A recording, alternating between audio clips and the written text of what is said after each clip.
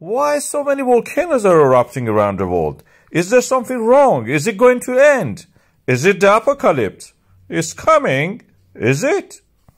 We have uh, Popocatépetl, we have the Merapi, we have the uh, Fuego, we have the Shiveluch, we have the Semeru, we have the Popocatépetl again, and again, and again, and again. And the chart shows that actually all the eruptions are increasing.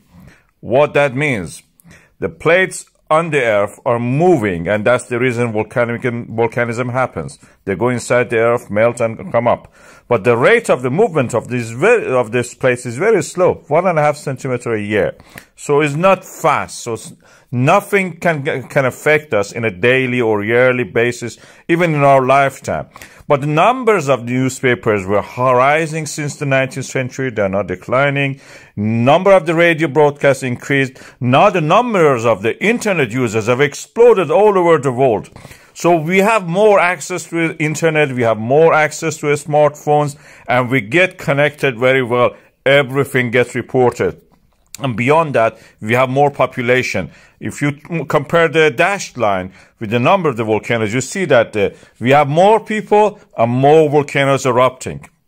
That means there are more people in the areas that the volcanoes are going to erupt. They are related. What that means is that there are a lot of people watching things related to this disaster.